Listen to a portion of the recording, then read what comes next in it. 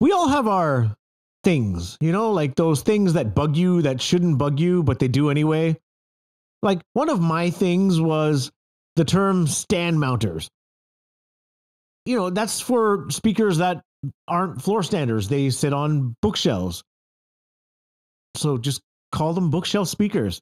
But people call them stand mounters because, you know, speaker stands are a thing and, you know, I barely use them. That was until I got those speakers, the Wharfedale Evo 4.2s, because they're stand mounters. My name's Taps. This is 0102 Studio, and this is a review of said speaker, the Wharfedale Evo 4.2s. Evo, short for Evolution, these speakers look similar to the range topping Elysian speakers. They also get some of that trickle down tech without the high price tag. They are engineered to give you the sound and scale of a floor stander, but without being a floor stander. This is a big ass speaker, make no doubt about it. In this modern era of hi fi, manufacturers seem to be content on designing their speakers small and attempting to wring out every last bit of performance from a smaller enclosure. It's refreshing to see a manufacturer taking an opposite approach. The Evo 4.2s are the larger of two stand mount options, the other being a two way design. The speaker looks very much modern old school, especially in this walnut finish. It looks very much like a speaker and not like a high end piece of furniture. The cabinet is curved around the back. The curve, aside from looking cool, also helps reduce standing waves. The 4.2 is a three way speaker. Up top is an AMT, Air Motion Transducer tweeter. In the middle, a 2 inch soft dome driver. And for bass is a 6 inch black woven Kevlar driver. The AMT tweeter is much different than a traditional soft dome. The larger surface area allows for lower distortion and wider bandwidth. The AMT just doesn't go very low, so they implemented the mid dome for the smoother transition between the lows and the highs. The bass reflex or slot loaded port is at the bottom, which makes placing the speaker easier. The speakers are rated at 8 ohms with a minimum impedance of 4. The sensitivity is 90 dB, so they're super easy to drive. The binding posts on the back are pointing in different directions, and they accept banana plugs. The grills are magnetic, though they aren't the best looking things. But given the fact that there's a larger soft dome mid range driver, I was inclined to keep the grills on when not in use, as I was scared that my son might depress it when left unsupervised. I set these up in our living room, which was the most ideal place for them. It's a modest sized room, allowing the speakers to fill the space properly. Just note that the speakers do require a bit of time to break in, a couple hours at least, for me overnight. In a larger basement, the Wharfedales were able to fill that room quite well, just at a higher volume. Most of the time, I have the speakers about 8 feet apart and toed in a bit towards my listening position. Because the bass reflex port is at the bottom, they can be placed closer to a wall, and I did just that. Because we have kids in our living room, I kept the speakers about 6 inches away from the wall. In our basement, however, where the kids never go, I was able to pull them out about a foot and a half. It's engineered to give you the sound and scale of a floor stander speaker without actually being a floor stander speaker. I get it, but I don't sort of get it at the same time. Like, like I get their philosophy on like, hey, we're to give you a floor stander without giving you a floor stander. But if I'm being honest, like for most people that don't have a large room, like these probably won't fit on a bookshelf. And they come with a well, they don't come with, but there is a speaker stand made by Wharfedale that is suited for these speakers. And you sort of need to factor in a stand for said speakers to get them at the right ear height. And that's probably why Wharfedale sent along the stand. It's a nice looking stand. But if you Factor in the cost of a stand with these speakers, you might as well just kind of buy a floor stander because they make two of those two in this lineup. So I get it, don't get it. The stands are made for these speakers, so they are shaped the same way these speakers are shaped. They're just black stands with spikes, and Wharfedale does supply these little pucks so the spikes of the speaker stand doesn't like damage your floors. since they are the same shape as the speaker, they just uniformly look great. And they put the speakers at a really good height for listening. So if you are looking for stands, I mean, the Wharfedale stands are the ones. And you definitely have to factor that into the cost of these speakers. The Evo 4.2s cost about $14.99 Canadian. I've seen them priced as low as $12.99 and as high as $16.99.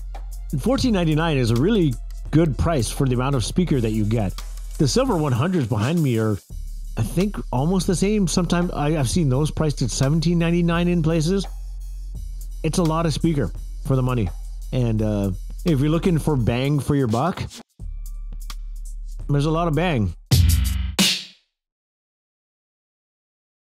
There are a few different speakers in this range. There's a smaller two-way bookshelf speaker, and then there are two floor standers, one with similar drivers, one with bigger drivers, and then two different center channels. All of the speakers are fairly large, and if you're looking to fill a good size space, these speakers would be perfect dual purpose speakers where you can use them for hi-fi and you can use them for home theater because they do have the expansiveness to fill a medium to large size room.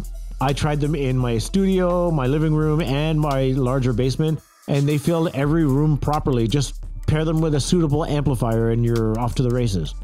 Uh, associated equipment for this was the Cambridge Audio CXA 81 amplifier, the Audiolab 9000A, the Roksan Attessa, both the streamer and the normal integrated amplifier. I tried for a bit of time the uh, Mission 778X integrated amplifier. All of the amplifiers worked really well. The best of the bunch for me was the uh, CXA 81 from Cambridge Audio. It just felt like the perfect pairing. It had a, just enough dri- just enough power to drive these speakers, and um, it had this right sound signature for them. The direct comparisons for the speaker were the Silver 100 from Monitor Audio behind me and the Silver 300. That's more of a slimline floor standard speaker, and that was sort of my endgame speaker when I first heard it. So yeah, it's a big speaker, but big is means nothing if you know it doesn't sound big. And fortunately, the speaker sounds big. And for the majority of this review, I ran them without a sub even though I'm a bass fiend, because I really didn't need one. I was shocked by the sheer wall of sound that came out of these speakers.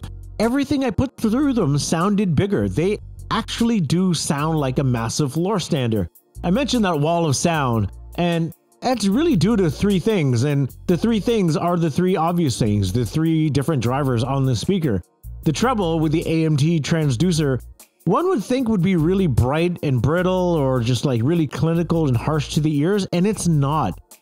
Actually, the Silver 100 speaker from Monitor Audio, that comes across as a bit more hot in the treble in comparison. And whatever they did with the crossovers of the speaker, like the treble, it gives you enough air without being overly harsh to your ears. So, especially when you turn up the volume, it doesn't ever err on the side of being too bright or too what's the word sibilant to your ears. Then the mid range, it really just kind of like pushes the sound out into the room a bit more. Not in any sort of forward way, but it just, I guess it, it just really helps things like vocals and like, you know, guitar plucks and all those things kind of just like envelop you a bit more, especially if you're sitting sort of dead center between the speakers. And then, of course, the bass. You will probably read or hear in a lot of reviews that the bass is really prominent. That's mostly due to the fact that the driver for the bass isn't doing double duty as it is with, say, like the Silver 100s, where it's doing bass and mids. It's doing bass and just bass. And the slot loading port on the bottom of the speaker really helps out with that in that it's able to push way more air and deliver more bass to you. So if you are the type of person that wants like a really even sort of sound presentation, then you'll do well to pull these speakers out into the room a little bit. But if you're a bass fiend like me, you can just shove them up against a wall and Bob's your uncle. It's going to sound great and you're going to be treated to gobs of bass. And that's probably why I didn't really require a subwoofer for these speakers. While it didn't hit the lowest depths of bass, it had more than enough for just day to day casual listening. The speaker itself is a bit of a chameleon in that, depending on what amplifier you pair it with, you are treated to a fairly different result. Like the Audiolab 9000A 100 watt per channel amplifier, it's a bit more transparent in nature. And if you want a bit more true to the source as far as whatever source you have connected to the amplifier, you'll get that from these speakers where it's a bit more neutral, it's a bit more uh, flatter sort of sounding, and like the vocals are, are pushed a bit more forward, the bass is a bit more recessed. And then if you pair it with the Roksan Attessa, that's a bit brighter, so the AMT transducer gets to work a bit of overtime, and you're treated to way more detail up top. Personally, I found that if I turned up the volume with the Roksan Attessa and these speakers, I would cringe a little because like the highs would bother me a bit more. And then if you pair that with the CXA 81 from Cambridge Audio, for me, the sweet spot of the amplifier is a bit more warm sounding, a bit more romantic or old school, or it's tuned to my sonic preference.